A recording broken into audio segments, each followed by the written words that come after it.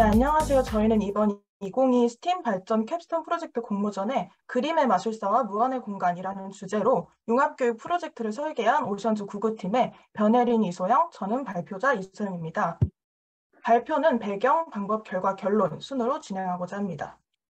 먼저 배경입니다. 저희 팀은 융합교육을 주제로 다룬 이번 공모전을 준비하기 위해서는 융합교육의 필요성에 대한 이해가 선행되어야 한다고 생각했습니다. 따라서 다양한 문서들을 탐색해 보았고 교육부에서 발표한 2022 개정 교육과정 총론의 비전, 추진 과제, 교육과정 개발의 지향점 등에서 교육부가 학생들의 삶과 연계하여 여러 교과의 내용을 통합한 융합교육의 필요성을 강조하고 있다는 것을 알 수 있었습니다. 이어서 저희 팀의 융합교육 프로젝트를 소개드리려고 합니다. 혹시 넷플릭스에서 제작하였던 오징어 게임 많이들 알고 계실까요? 네, 오징어 게임은 에미상에서 특수시각 효과상을 비롯하여 우수한 성적을 거두었는데요. 오징어 게임의 미술 감독은 미로식 복도 세트장이 파나가 애셔의 작품을 오마주에 만든 공간이라고 밝힌 바가 있습니다. 오른쪽에 나타나 있는 애셔의 작품 상대성과 계단의 집을 보시면 아실 수 있을 것 같습니다. 이외에도 애셔는 그리는 손, 상승과 하강, 순환과 같이 굉장히 수학적으로 엄밀하게 계산된 작품을 제작해 왔습니다. 이와 같은 애셔의 작품은 예술 그 자체로서 의미가 있는 동시에 수학적으로도 많은 노력이 들어가 있으며 영화 등 다양한 분야의 영감을 주고 있는 것을 확인할 수 있습니다. 저희 팀은 예술과 수학을 융합한 이러한 애셔의 모든 요소들이 융합교육의 소재로서 굉장히 적절하다고 생각했고 이러한 점들에서 영감을 얻은 그림의 마술사와 무한의 공간이라는 프로젝트를 설계하게 되었습니다. 애셔의 작품을 기반으로 예술과 수학을 융합한 교육 프로젝트를 설계하기 위해 우선 교육 대상을 선정하였습니다. 초등학교부터 고등학교까지의 관련 성취 기준을 분석하여 보았고 도형과 추상표현에 대한 이해가 선행되며 사회와의 심층적인 연계는 배제되는 중학교 과정이 적절함을 확인하였으며 중학생을 본 프로젝트의 교육 대상으로 선정하게 되었습니다. 프로젝트를 설계하면서는 켈러의 동기 설계 이론과 메릴의 교수 전략 이 수준을 활용해 프로그램의 짜임새를 더하고자 하였습니다. 시간상 세부적인 활용 내용은 보고서와 발표 자료를 통해 다시 한번 확인해 주시면 감사드리겠습니다. 이러한 설계 과정을 통하여 최종적으로 개발한 교육 프로젝트는 다음과 같습니다. 한 차시에 45분, 총 4차시로 구성된 프로젝트를 개발하였으며 각 차시에 대해 소개해 드리겠습니다. 1차시는 4D 프레임 교구 이해 활동입니다. 전체적인 프로그램 개관을 다룬 후 애셔의 생애와 작품에 대한 이해를 선행합니다. 애셔의 작품을 통해 점선 면의 기본 조형 요소를 알아보고 본격적인 활동에 들어가기에 앞서 4D 프레임 교구를 직접 만져보면서 조형에 대한 이해를 돕습니다. 2차 시부터는 본격적으로 4D 프레임 조형 활동이 시작됩니다. 애셔의 작품 중 착시 현상을 다루고 있는 작품을 소개하고 설명과 미디어를 통해 착시 자체에 대한 이해를 하게 됩니다. 이후 영상에서 보았던 입체 착시 구조물을 조별로 직접 제작하여 봄으로써 협동 능력과 행위 주체성을 기르게 됩니다. 구체적인 제작 활동은 다음과 같습니다. 4D 프레임과 보조 인쇄 도안을 비롯한 준비물을 준비한 후 다음과 같은 제작 순서를 통해 최종 결과물 영상에서 보이는 착시 작품을 제작할 수 있습니다. 네, 3차 시는 tessellation을 이해하는 활동입니다. tessellation은 같은 모양의 조각들을 서로 겹치거나 틈이 생기지 않게 늘어놓아 평면이나 공간을 덮는 것인데요. 역시 에셔의 작품을 통해 도형의 성질과 tessellation의 개념에 대해 이해한 후 사전 학습 활동과 실제 4D 프레임 창작 활동을 통해 tessellation 작품을 완성하게 됩니다. 3차 시의 제작 준비물은 사전 활동지와 4D 프레임이며 오른쪽에 보이는 에셔의 도마뱀 작품에서 나타나는 tessellation을 제작하게 됩니다. 네, 제작 순서와 제작 결과물입니다.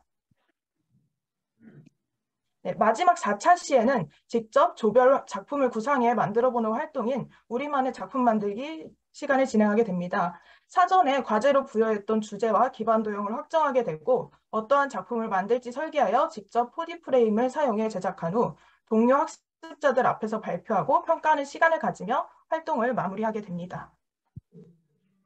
네, 다음은 예시 작품 제작 과정과 결과물입니다. 네, 마지막으로 결론입니다. 저희 팀이 제작한 그림의 마술사와 무한의 공간은 자기주도적 학습과 비형식적 교육을 제공할 수 있으며 네, 다음으로 스팀 융합교육의 적절성을 가지고 있습니다. 매차시 4D 프레임이 활용되며 수학적 원리를 이용해 평면 공간과 입체 공간까지도 예술로 표현하는 예시의 작품을 주제로 하여 수상적인 개념을 다룰 수 있습니다. 네, 마지막으로 학생들의 흥미를 유발하는 예술작품 소재를 사용하였다는 점입니다. 네, 이상으로 발표를 마치도록 하겠습니다. 감사합니다. 네, 발표 잘 들었습니다. 심사위원 질문 시작하겠습니다. 처음 발표할 때부터 어, 중학생들을 대상으로 어, 이 프로젝트를 어, 진행했다고 했는데요. 이 프로젝트 구체적으로 중학교 몇 학년을 대상으로 어, 프로젝트를 진행하면 되는지 한번 설명해 줄 수 있나요? 아, 네, 저희가 원래는 딱 그 중학교 뭐 1학년, 2학년 이렇게 학년도 정해 보려고 했는데요. 근데 저희가 아까 말씀드렸듯이 교과 과정 이제 성취 기준들을 분석하고 그리고 실제로 중학교 교과서들을 좀 보면서 특히 수학 교과를 분석을 해보니까 어 사실은 가장 베스트는 중학교 3학년 그러니까 즉 도형에 대한 뭐 닮음이라든지 삼각비 이런 것들을 다 배우는 중학교 3학년이 가장 적합하지만 어 교수 그러니까 교사들이 조금 더 추가 자료를 준비를 한다던가 아니면 내용을 조정한다면 사실은 중학교 1, 2학년들도 충분히 다룰 수 있는 정도의 도형 활동이라고 생각을 해서 그냥 중학생 전체를 학습 대상으로 하였고 저희 개인적으로는 중학교 3학년이 가장 최적의 학습 대상이다라고 말씀드리고 있습니다. 네, 실제 발표 자료에서 어, 중학교 수학 기준도 제시를 하고 있는데요. 그 예를 들어서 성취 기준 중에서 삼각비라든가 또는 그 산출무 어, 삼각비나 피타고라스 정리가 어떤 관계가 있는지 설명 해줄수 있나요? 아, 네. 예를 들어서 뭐 피타고라스 정리 같은 경우에는 이 삼각형의 뭐 두 변, 그 삼각형 세 변 간의 뭐 길이 관계 같은 것을 다루기 때문에 예를 들어 저희가 3차 10대 활동을 생각했던 테셀레이션 작품을 제작할 때 어떤 면들이 닿아야 뭐 어떤 식으로 닿아야 이게 잘 들어맞는다든지 아니면 각도가 어떻게 설정이 되어야 잘 들어맞는다든지 이런 걸 알 수 있고 특히 저희의 작품에서도 삼각형이 많이 활용이 되었기 때문에 그런 부분들이 저, 어, 피타고라스 정리, 삼각비 이런 부분이랑 저희의 작품이랑 관련이 있다고 생각을 했습니다.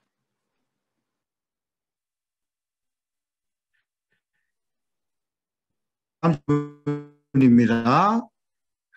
네. 테셀레이션 예시를 보면 테슬 같으면은 뭐 평행 이동 있을 수 있죠. 그렇다면 그 포디 프레임으로 이런 그 테슬레이션 산출물을 제작하는 과정에서 이런 평행 이동이나 회전이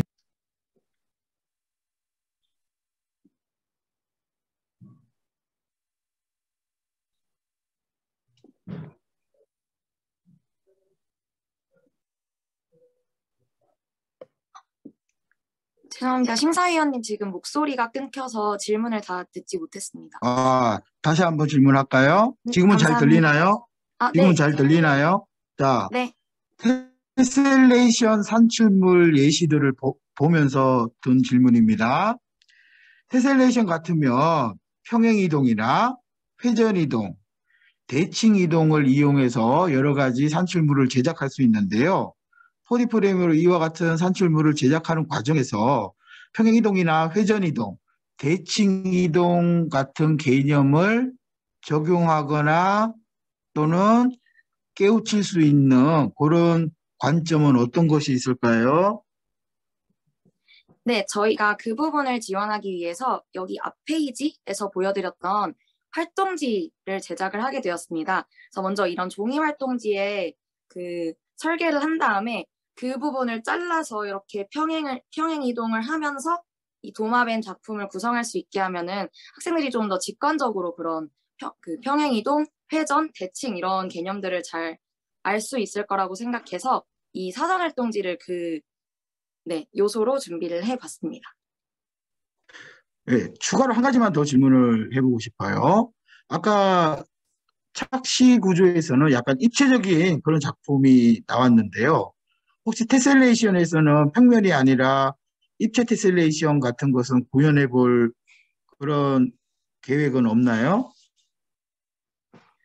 아, 네. 학생들의 뭔가 수준이나 이해 정도가 바탕이 된다면 가능할 것 같은데요. 저희가 실제로 tessellation 작품을 4D 프레임으로 제작을 해봤을 때 어, 45분 내에 이게 생각보다 좀 빠듯할 수도 있겠다라는 생각이 들었습니다. 저희가 제작을 해봤는데도 그래서 일단은 평면으로 넣었고요. 뭐 학교나 교사들의 재량에 따라 입체 테셀레이션도 저희는 가능하다고는 보는 입장입니다.